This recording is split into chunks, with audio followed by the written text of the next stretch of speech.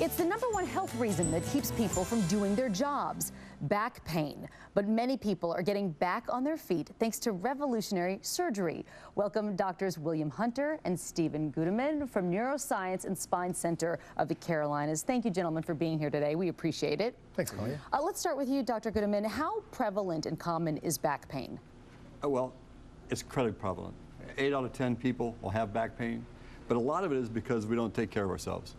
I mean, two big things, and, and we're going to see some food stuff here in a little bit, but piling on those pounds year after year. Mm -hmm.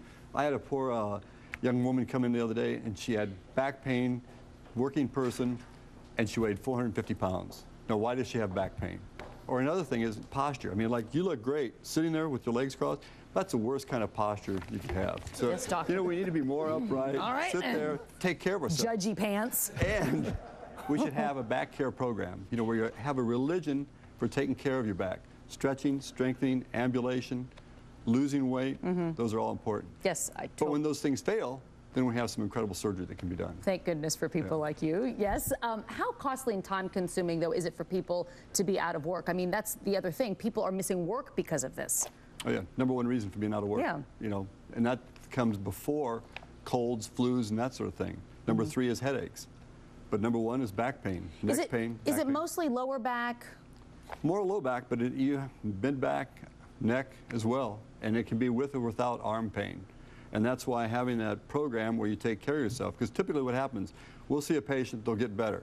Mm -hmm. and they'll relapse because they stop taking care of themselves. Okay. Um, Dr. Hunter, talk about advances in back surgery. As we mentioned, Dr. Gudeman mentioned there's some things that you can do. Try losing weight, try other things. Um, when those things fail, back surgery is certainly an option, and there are so many advances. Sure, Colleen. I mean, once, once we get through all the treatments, and if they fail the conservative treatments, and there are th things that are still going on, the back pain, leg pain, uh, there are other things we can do, and there's certainly some revolutionary surgeries that we can perform now minimally invasive, uh, safer for patients. Mm -hmm.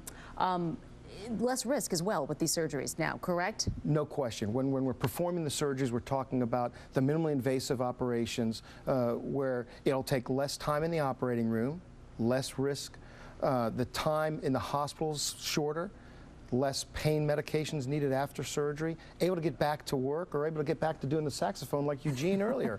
and it really can be a lifesaver. Talk about the, the spacer that goes into the spine. It's customized for each patient. That is exactly right. Every disc is different. Your disc is different from mine, different from Dr. Gudeman's, and whenever we can get into that disc space, we can actually then customize a disc space uh, properly so we can actually take care of the problem. It's all about relieving pressure off of the nerves.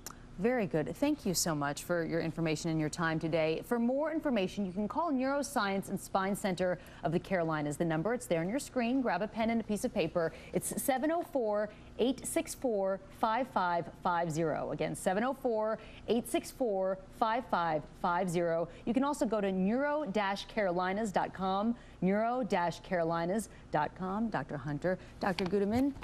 There you go. Nice to have you. Thank, thank you so much. Back to my old habits die hard. Old habits die hard. Looks good though.